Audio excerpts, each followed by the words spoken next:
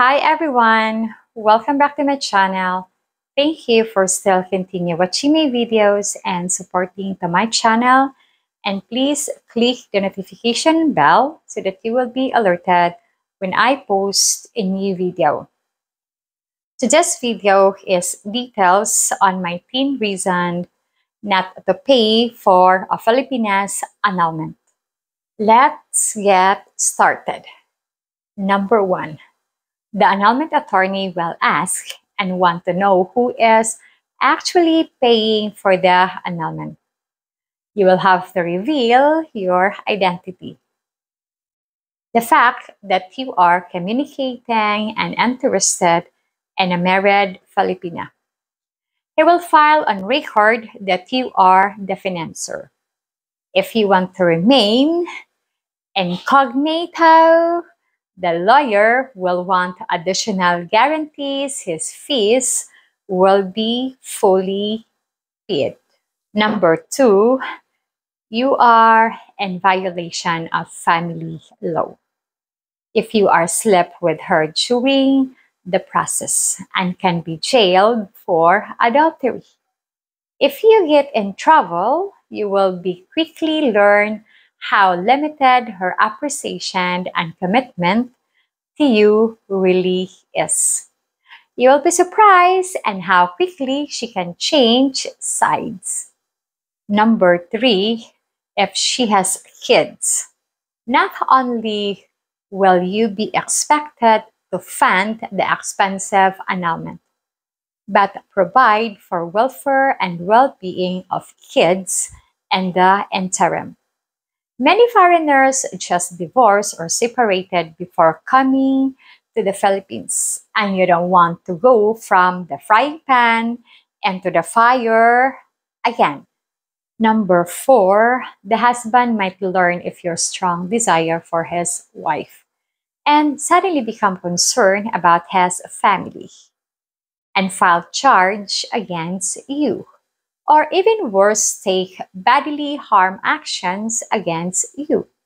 Number five, it could be a scam from the beginning, and the husband is in on it in order to avoid legal actions against you. He may file adultery charge against you unless you pay a lump sum specified amount of dollars. You will ask yourself, how in the hell did my kindness turn into a crime? And number six, you might secretly be videotape making love to her. And it appears on Facebook, thus selling your dom. Number seven, she might have severe long distance relationship in which to think they are funding the annulment and when it completed there will be demand of her dreams and future. However, in reality, you are the part of a chain of fools. Number eight, she might have been convinced that she had not seen him in years because he never support his kids. However, she allows him to come over and communicate with his kids. If that is happening more likely, he is still tapping that booty before departure. Remember, she wants the kids to be with a father and a family environment. He always has the upper hand. Number nine, annulment lawyers can bleed your bank account for years with processes, filing, and, and unnecessary activity which does nothing to resolve or complete the annulment.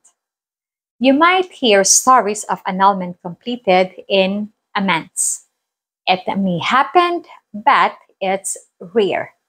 And there were mitigating circumstances involved. That might not be your lack of the draw. Last but not the last, number 10 you might put your life, retirement, enjoyment, and future on hold with a woman that may no longer be interested in you if an annulment is successful. You might have aged significantly. An aging medical condition have occurred that she wants no part of. Once free, she will take the best offer available and might not be you. Especially if you have a medical condition that requires caregiving. Now, you might say, Sharon, you're always looking at the extreme side of a situation. You never say the positive side. However, if you are so much in love with someone's wife that you put your retirement and future in jeopardy and the outcome is not what you expected, you will regret putting yourself in such an non-win situation and, well, reminisce on the day. Sharon Lapu-Lapu advise you, don't pay for a Filipinas annulment. If you like my channel and its content and want to buy me a coffee or donating to my channel, the links are in the video description. Thank you and God bless.